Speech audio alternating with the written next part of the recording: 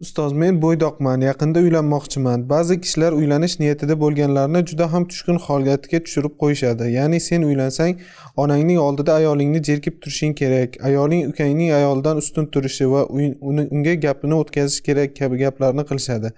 Axir bu rasululloh sollallohu alayhi vasallamning sunnatlariga zidku ularga rasulullohning holatlari shunday bo'lganmi desak u paytlar ayollar yaxshi va oqila edi deb bahona qilishadi. Ustoz nasihat qilishingizni va biz bo'ydoqlarning haqqimizga duo qilishingizni so'rab qolaman.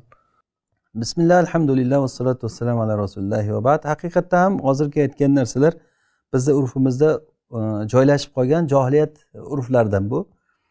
E, xotin kishi e, past bo'lishi kerak xotin kishi qulday bo'lishi kerak. Э, yerga qarab o'tirish kerak haq gapni gapirmaslik kerak e, o'zini huquqlaridan kechish kerak va uni ustiga erkakdan kaltayib turish kerak har zamonda bir deb haligi jerkib gapirish kerak unga yaxshi gapirish mumkin emas. E, ha desa o'zidan ketadi yoki qaynona achchig'i keladi.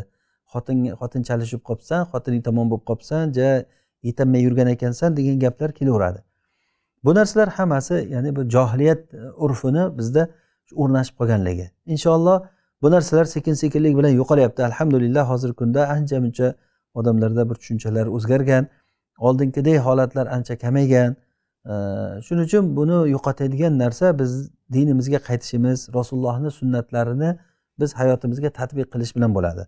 Rasululloh hayotlarida qanday yashaganlar? Hozir savol beruvchini o'zi ham o'zi javobi bilan aytyapti. Rasululloh bunday qilmaganlarku deb. Aynan shu rasululloh bunday qilmaganlar onangizga ham yoki atrofingizdagilarga ham tushuntiring. Siz sunnatga muvofiq yashashga harakat qiling. Johiliycha emas o'zizni tog'alaringiz yoki amakilaringiz o'shalarga taqlid qilmang rasulullohga taqlid qiling. Ba'zi bir urflarda bo'ladi shu e, urug' xotinini urib kelgan urug'lar bo'ladida aka uka amakilar hammasi xotin kaltaklaydigan odamlar bu ham urish kerak iloji yo'q. Biz shunaqamiz deydi men amakilarim ham urgan urmasam bo'lmaydi deydi.